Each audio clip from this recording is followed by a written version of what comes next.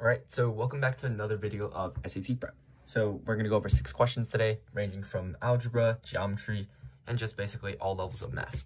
So feel free to pause when I go through each question, try to do it yourself, and then you can try to check your answers with my explanation. So let's start. Question 13. If A, 3, negative 2, and B, 7, 2 are the endpoints of a diameter of a circle, what is the area of the circle? So basically, we need to find the area of the circle, which is using what formula? Area of a circle is equal to pi r squared, right? So in this case, we need to find the radius, the r. How do we find that given two points, which are the diameter?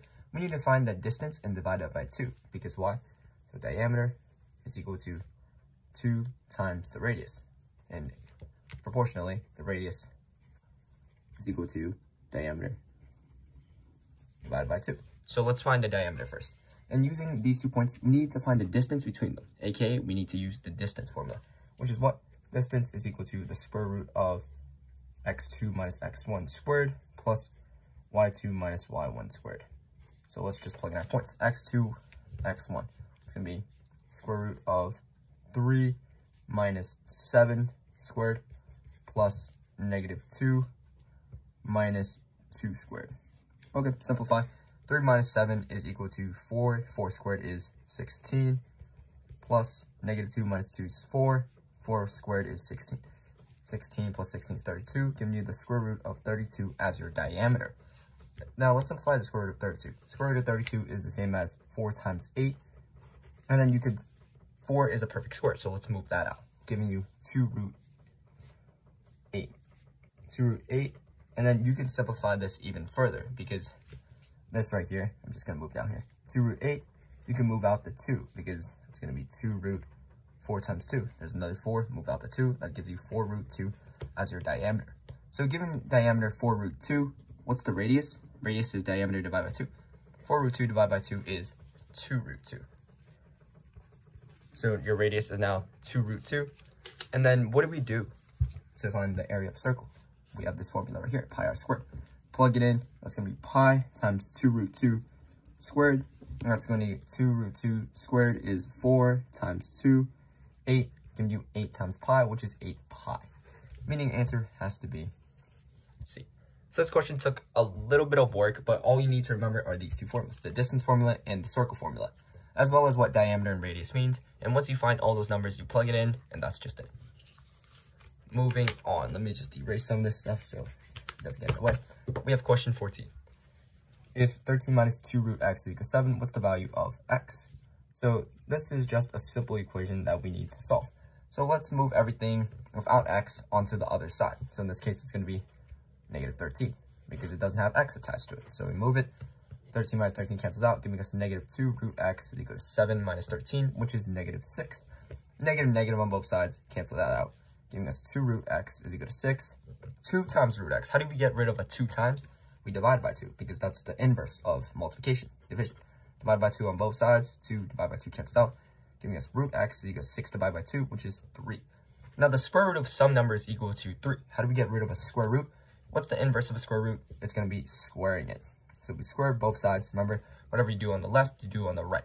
So square root of x squared cancels out, giving us x is just equal to 3 squared, which is 9. So does that work? Yes, it does. Meaning answer has to be C, 9. Moving on, question 15. The estate of a wealthy man was distributed as follows. 10% of it to his wife, 5% divided um, equally among his three children, 5% divided among equally among his five grandchildren, and the balance to a charitable trust. If the trust received $1 million, how much did each grandchild inherit? So basically what we need to do for this question is we need to find out how much was given to the trust, what percentage. So 10% was given to the wife, plus 5%, given to the children and 5% given to the five grandchildren. So in total, 10 plus 5 plus 5%, 20%. So that means the remaining was given to the charity, which in this case is 80%, right? 80%, 20% makes up a whole, 100%. So 80% is equal to $1 million. How much is that amount? So what is 80% written as a decimal? It's going to be 0.8. So 80% of some number x is equal to $1 million. Now, if you use a calculator to find x, we can just divide both sides by 0.8 to cancel out. 0.8 divided by 0.8 cancel out. Give you x is equal to 1 billion divided by 0.8, which should give you 1.25 million. So it should look like this. 1,250,000. So that's the value of the total amount of money this wealthy man has. So the question is asking for how much did each grandchildren inherit? So basically, let's check out the problem. So 5% was the equally divided between five grandchildren. So if it's equally divided, 5% divided by 5, it just gives us 1% per grandchildren. So each grandchildren, grandchild received 1% of the total inheritance, which was 1,250,000. So what's 1% of this number? So in order to find 1% of any number, all we have to do is move the decimal places two times. 1, 2. So it means the grandchild inherited 12500. 12500. 12,500, meaning your answer has to be B, the price of each grandchildren that they inherited. Okay, moving on. We have question 16. In the figure above, if PS bisects PS bisects angle RST, what is the value of W? PS bisects angle RST. What does bisect mean? It means it divides the angle into half. So this angle right here is equal to this angle because they're equally divided. So therefore, I just know this angle should be 25 because SP bisects this angle. These two angles should be equal. Now, given this information, what's the angle of W? So I know that in order to find W, I should probably find this angle right here. How we find that? We know this box, what does that mean? It's a 90 degree angle. So it's 25 and 90, 25 plus 90, plus this angle, which I'll call X, that should sum up to 180 degrees, right? Because this is a triangle inside and they all sum up to 180 degrees.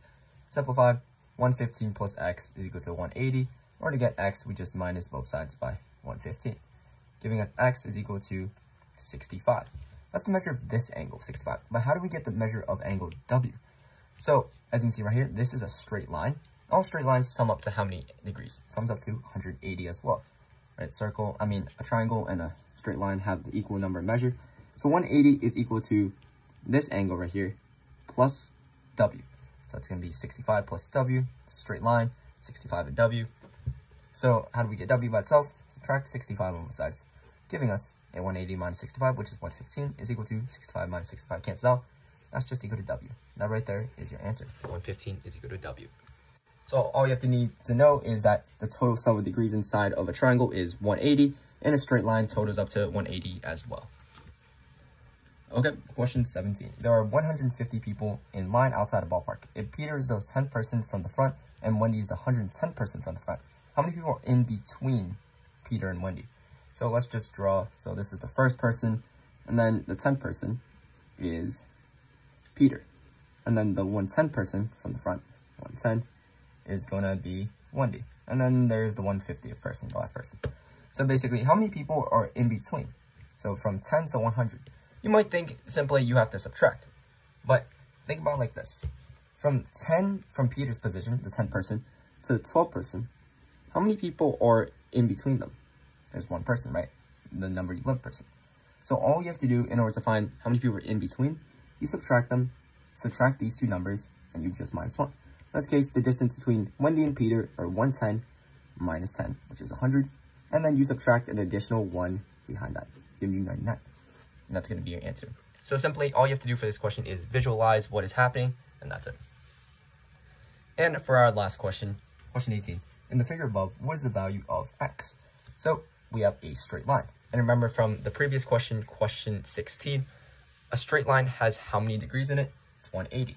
So that's something to remember. So 180 is equal to the composition of x plus 2 and x plus 1. Combine like terms, x plus 2 plus x plus 1, right? You add up these two angles, and they should sum up to 180 degrees. Add them up, 180 is equal to, what's x plus x? That's 2x. 2 plus 1 is 3. Now we just have to solve for x by subtracting 3 on both sides to get x by itself. 177 is equal to 2x. 180 minus 3 is 177. Divide both sides by 2 because inverse of multiplication is division. You can check out my other videos to find out how to solve equations in case you don't know how to. Divide both sides by 2, giving you x is equal to 177 divided by 2. It's 177 divided by 2. That should be 88 0.5. That right there is going to be an answer for the value of x. So thank you guys for watching all the way. And if you guys have any questions regarding what I did for any of them, leave in the comments. Otherwise, have a great day, and I'll see you in the next one.